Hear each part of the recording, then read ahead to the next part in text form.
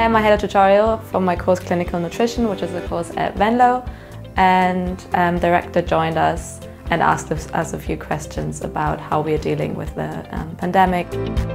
Well, I think it's difficult for everyone. I mean, I've been doing online education for over a year now, and I'm really struggling to find a structure for my day-to-day life because I wake up, I go straight to my desk, go onto the computer, and then Close the computer, go back to bed. So that's basically what it looks like. Several of them told me that they very much value the fact that it's now more flexible. But what they really don't like, and that was also universal in this group, is the fact that they are uh, in this online uh, tutorial format that they cannot have eye contact with the students. So you actually never know um, yeah, certain expressions, emotional expressions you don't see. Uh, sometimes if people are interrupting too much, then the whole way of communicating becomes quite annoying.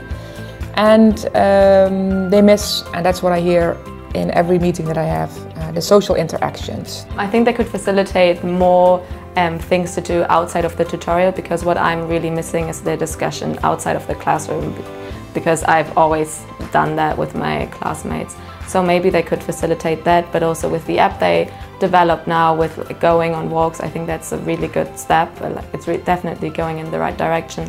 I need to continue together with the other universities to lobby to open the universities again because the students, all students that I talk to, are experiencing too much stress uh, by being isolated in their student homes or with their parents at home and they need to go back to campus.